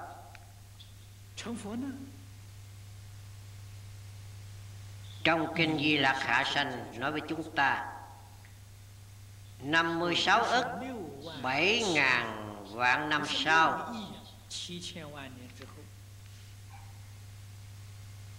con số này chúng ta nghe đến là con số thiên văn. Trong thời gian dài như vậy, thế giới này chẳng có phật pháp. Có thể thấy thời gian có phật pháp ấy thật tại vô cùng ngắn tạm. Sao anh may mắn vừa sanh nhầm thời kỳ này? Gặp được kinh điển của phật, điều này còn khó hơn là trúng số độc đắc đây chúng ta ngày nay đã trúng số rồi thật chẳng dễ dàng. Cho nên phải trân quý cái nhân duyên này.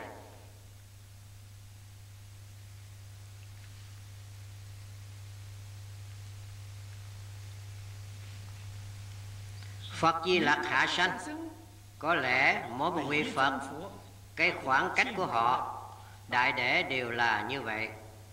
Từ chỗ nào mà biết được? Bởi vì bổ xứ Bồ Tát Đều là ở tại trời đau xuất Trời đau xuất là tầng trời thứ tư của dục giới Thọ mạng của người ở trời đau xuất Là bốn ngàn tuổi thọ mạng là 4.000 tuổi. Tuy nhiên, một ngày của trời đau xuất là 400 năm của nhân gian.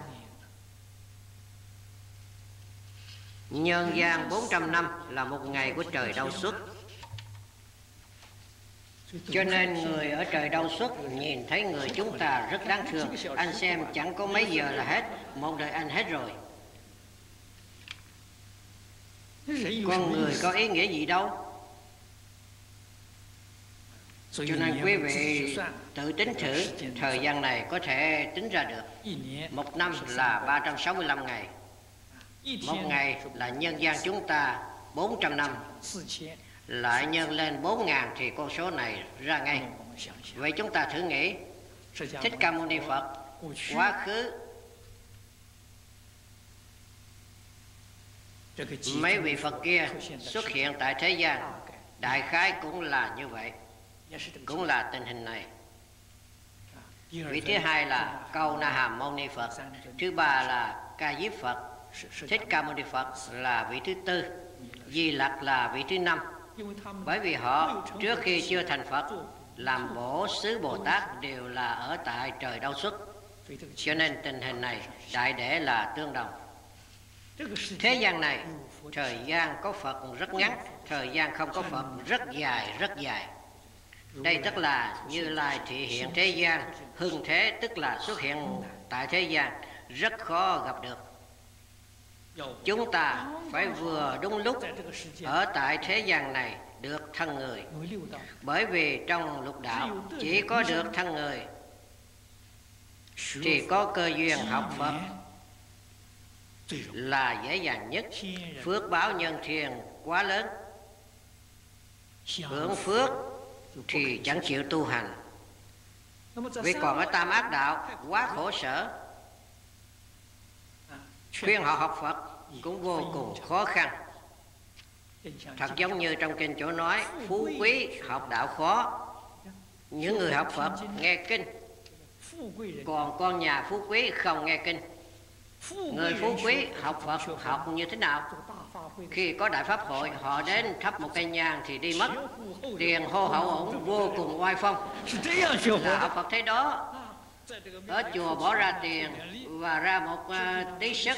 Trên thực tế à, ra tiền rất nhiều nhưng đối với của cải của họ so sánh có thấm vào đâu. Lại còn tác oai tác phước bảo họ đến nghe kinh họ chịu không nổi. Phú quý học đạo khó. Họ bỏ đi nhảy đầm mất hay đi chơi mất đi làm những thứ này. Họ còn học cái này còn bần cùng học đạo khó, ba bữa cơm đều chẳng no. Anh bảo họ đến nghe kinh là việc không thể được. Cho nên trong lục đạo, tam ác đạo là bần cùng thiên nhân là phú quý, nhân là tiểu khang. Sống qua ngày tháng, miễn cưỡng sống ờ, qua. Cũng chẳng quá giàu có, cũng chẳng còn đủ ăn. Người như vậy học đạo dễ cho nên trong lục đạo, Phật thường thường tán thán, Nhân thân năng đắc. Thân người là đáng quý nhất, Tức là rất dễ tiếp xúc Phật Pháp. Sau khi tiếp xúc, Dễ tín thọ phụng hành. Đạo lý là ở chỗ này. Đây là cơ duyên khó. Chư Phật kinh đạo Nàng đắc nàng văn. Đây là nói về kinh Phật. Chúng ta được thân người. Hiện nay thế gian này được thân người. Có được bao nhiêu người? Được thân người rồi. Có thể trong một đời này Gặp được Kinh Phật, Gặp được phương pháp tu hành, Cũng là chiếm thiểu số, Chẳng phải đa số. Cứ lấy thí dụ Tân Gia Ba này mà nói Tân Gia Ba có 3 triệu người. Anh xem chúng ta nơi đây thính chúng mới có trên một ngàn người. Trên một ngàn người cùng ba triệu người so sánh thì rất ít ừ, rất ít. Thì anh mới biết được. Chư phật kinh đạo nàng đắc nàng văn. Rất chẳng dễ dàng. Vậy địa phương này vẫn kể là nhiều. Các quốc gia địa phương khác Chúng tôi giảng kinh thính chúng chẳng đồng như thế này. Tình cờ tổ chức một à, pháp hội. Người có thể rất đông. Liên tục giảng kinh không dứt, liên tục giảng một tháng. Ngày ngày có nhiều người thế này đến nghe. Rất là hy hữu. Rất ít rất ít. Chứng minh. Chư phật kinh đạo, nàng đắc, nàng văn. Đây là cái khó thứ hai. Ngộ thiền tri thức. Đây là cái khó thứ ba. Làm gì có thể gặp được một vị thiện tri thức? Thời xưa tiêu chuẩn của thiện tri thức là người tu hành chứng quả mới là thiện tri thức. Đương nhiên, khi họ đã tu hành chứng quả, đối với lời trong kinh giáo, chỗ nói sẽ chẳng có sai khác. Bản thân họ chứng minh rồi. Hiện nay, chẳng có nữa. Người tu hành chứng quả chẳng có nữa. Những người có thể chịu y giáo phụng hành, y giáo tu hành đã không còn nhiều. Thiện tri thức đến đâu để mà tìm? Chẳng gặp thiện tri thức. Chúng ta tuy gặp được kinh giáo nhưng nghĩa lý chẳng thể thông đạt chẳng thể hiểu rõ.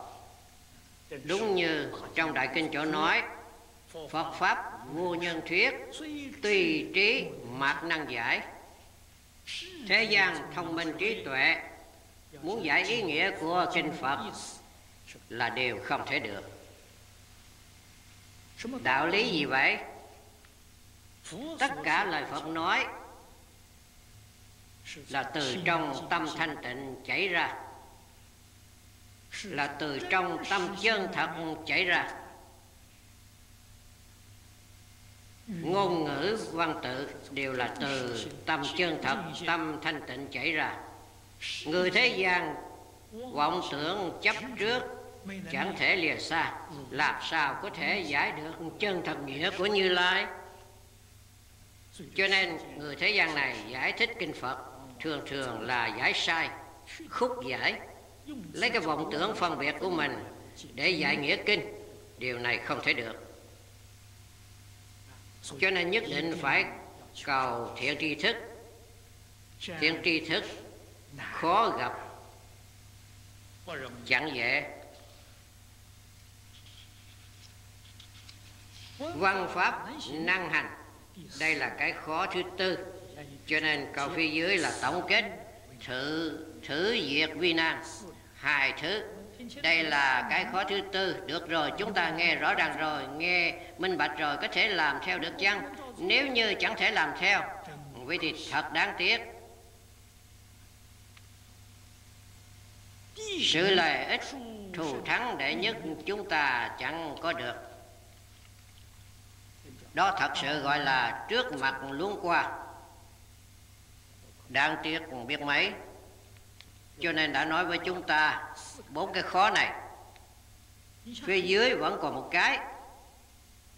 Nhược văn tư kinh, tín nhạo thọ trì, năng trung chi nam vô quá thử nam. Cái khó thứ năm là khó tại trên kinh này. Phía trước là nói chư phật kinh đạo kinh điển thông thường của đại tiểu thừa đều khó như vậy. Còn kinh này thì cái khó trên cái khó. Tư kinh là bổn kinh. Anh có thể nghe đến kinh vô lượng thọ, hoặc giả là kinh quán vô lượng thọ, kinh a di đà, tịnh độ tam kinh này. Sau khi anh nghe đến, anh có thể tin được chữ nhạo là anh rất ưa thích. Thọ trì là như thuyết tu hành. Phật nói thế nào, anh thật sự làm theo. Đó gọi là nang trung chi nang. chẳng có gì vượt hơn cái khó này. Đây là đạt đến tột đỉnh rồi. Nếu như cái khó này anh chẳng còn nữa, vậy thì xin chúc mừng anh. Thì anh chẳng phải là người nữa.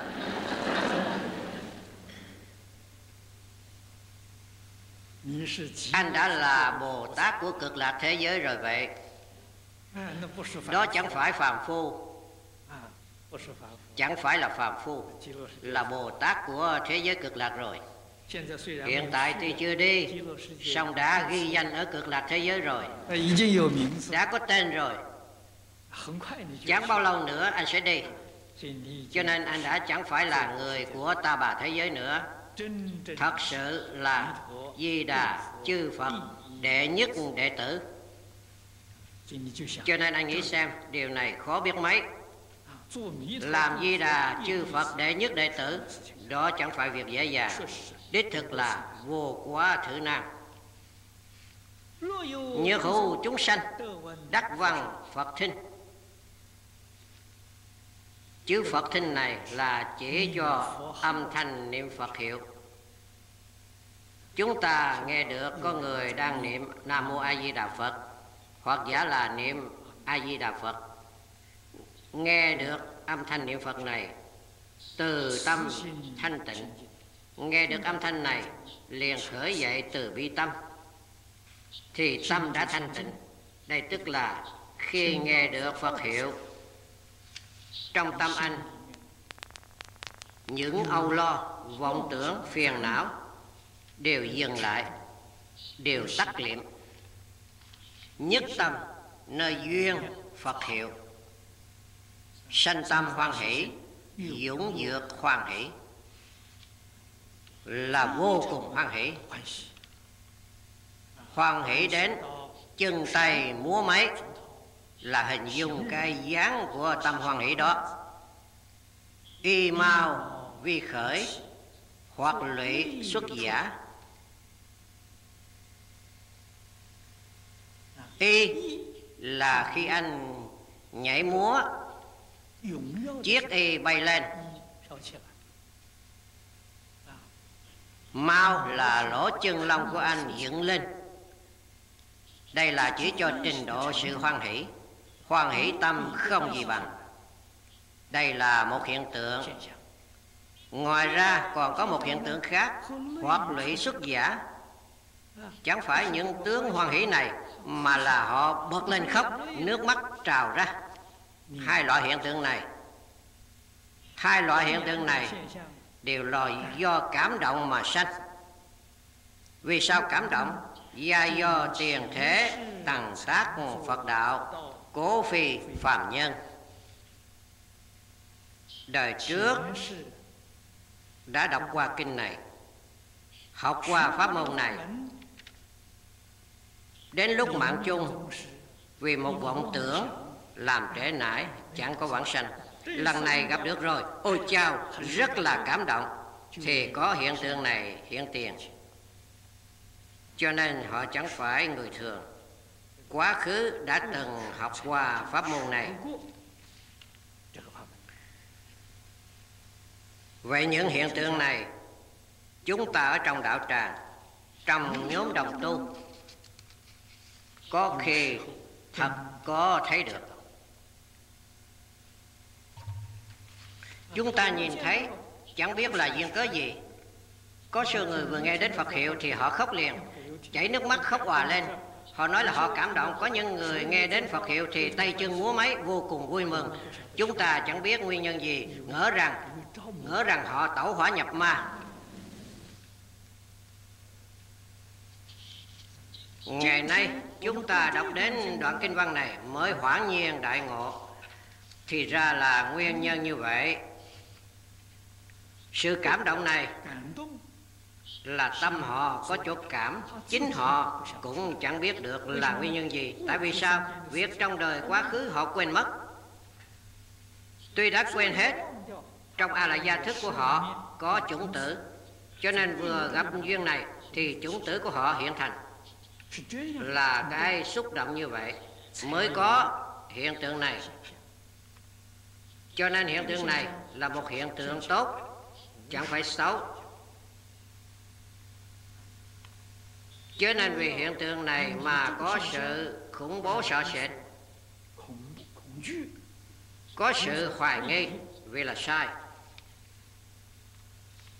Tuy nhiên Điều mà đáng cho được cho chúng ta chú ý là nếu hiện tượng này thường thường xảy ra đó là tẩu hỏa nhập ma. Lúc đầu tiên nhất mới tiếp xúc, lúc đầu tiên nhất mới nghe đến Phật hiệu có vài lần thì không sao. Đây tức là trong kinh chỗ nói. Nếu như mỗi lần đều là như vậy đó tức là trong kinh lăng nghiêm nói đến ma nhập vào thân.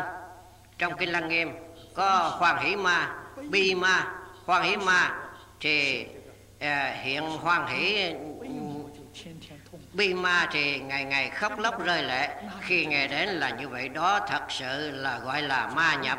Cho nên nếu chẳng phải thường có thì chẳng phải ma nhập đây là lần đầu nghe được, lần đầu tiếp xúc có thứ cảm động này. Về sau thì bình thường không có nữa.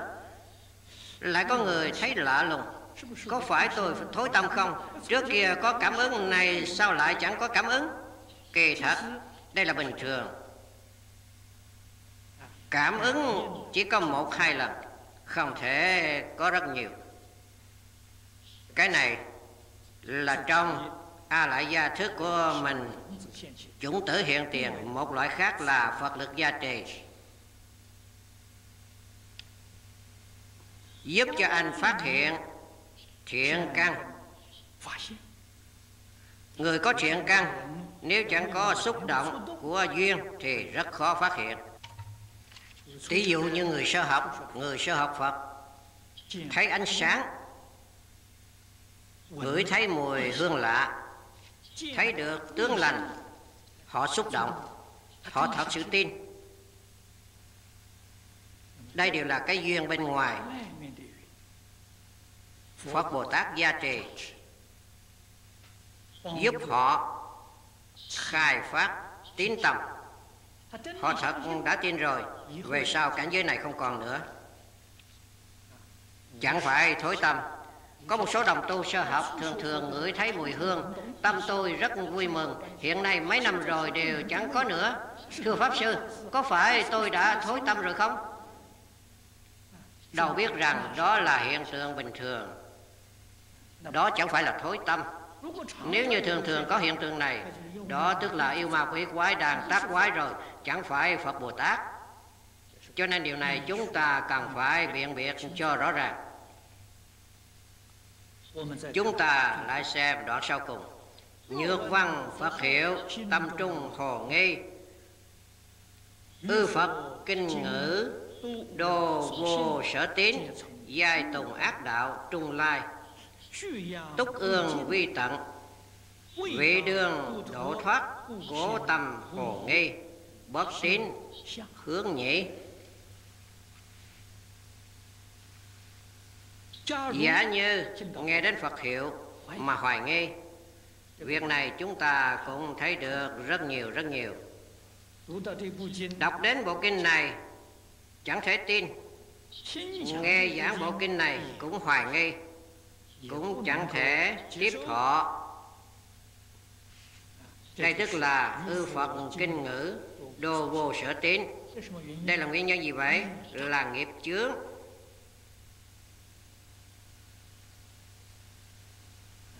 Phật giả là nói một cách khách sáo là tội chướng,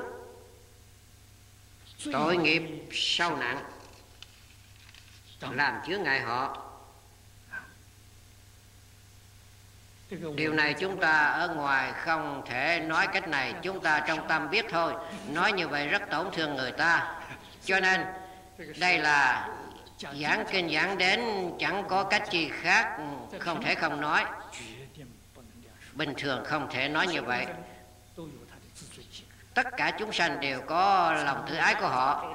Anh không thể nói anh là từ trong ác đạo đến. Chúng ta không thể nói lời này. Thật tại mà nói là từ trong ác đạo đến. Không những Phật ở chỗ này đánh thức chúng ta. Câu này, Chúng ta từ trong kinh điển Đại Thừa thấy được rất nhiều rất nhiều. Thường khi tạo tác tội nghiệp đọa địa ngục. Sau khi từ địa ngục ra, vẫn phải biến ngạ quỷ ngạ quỷ đạo sau khi tội thọ đầy rồi. Vẫn phải biến súc sanh để trả nợ.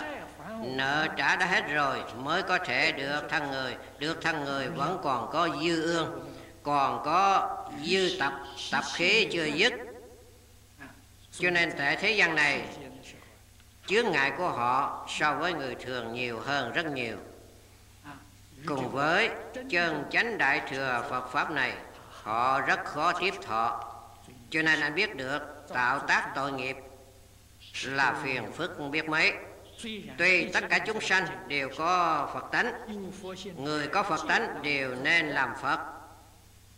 Chướng duyên này của họ quá sâu. Phật, mặc dù từ bi vô tận, đều chẳng giúp được. Điều này chúng ta nhất định phải ghi nhớ thật kỹ. Quyết định chẳng thể tạo tác ác nghiệp. Tạo tác ác nghiệp, khổ báo vô biên. Cho nên, họ không thể tiếp thọ, không thể tin. Đây tức là túc ương vi tận. Túc ương vi tận là nói tập khí của họ còn. Tập khí chưa có thể đoạn dứt. Vị đường độ thoát. Một đời này của họ. Đây là chúng ta. Đọc bộ kinh này Đọc nhiều như vậy. Đã nghe nhiều lần như vậy Thì nhất định phải biết được. Chữ độ thoát là thành Phật. Chẳng phải kinh điển à, pháp môn thông thường. Giúp cho anh sanh thiên được thiên phước. Giúp cho anh chứng A-la-hán quả. Giúp cho anh thành Bồ-Tát. Đây thì chẳng phải Kinh này là trực tiếp khiến anh thành Phật Anh nghĩ thử xem Có người nào trong một đời này Giống như có cái vẻ thành Phật à, Chúng ta chiếu thử trong kính Có giống như Phật không Pháp môn này là giúp cho anh trong một đời này đắc đạo thành Phật. Đắc đạo tức là vãng sanh bất thối, quả báo là thành Phật cứu cánh viên mãn phật. Chẳng phải tạng giáo phật thông giáo phật. Tạng giáo phật so với cái này thì là dễ dàng hơn quá nhiều. Đây là cứu cánh viên mãn phật. Anh mới biết được, đó là phước báo lớn biết chừng nào. Họ là túc ương vi tận, vị đường độ thoát. Cơ duyên thành phật của họ chưa thành thục. Cho nên gặp được kinh điển này gặp được pháp môn này, trong tâm họ liền khởi lên nghi hoặc. Họ chẳng thể tin, chẳng thể nhất hướng chuyên niệm, họ chẳng làm được. Hôm nay xin giảng đến đây.